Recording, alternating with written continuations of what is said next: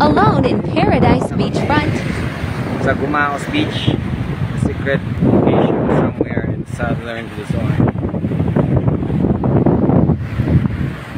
Umaga kami punta, kaunti lang tao. Diba naman? Ang dagat. Basura.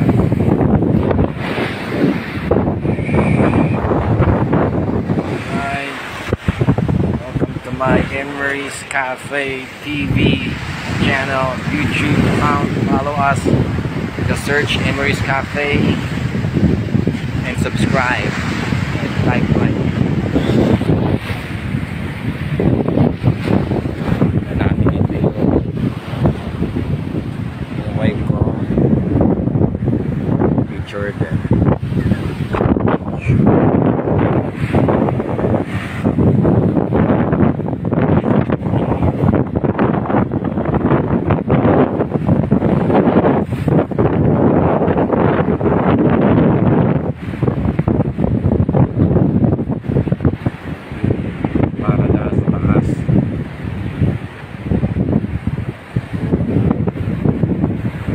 radyo yung ano yung sirena Kamatikat City kong daw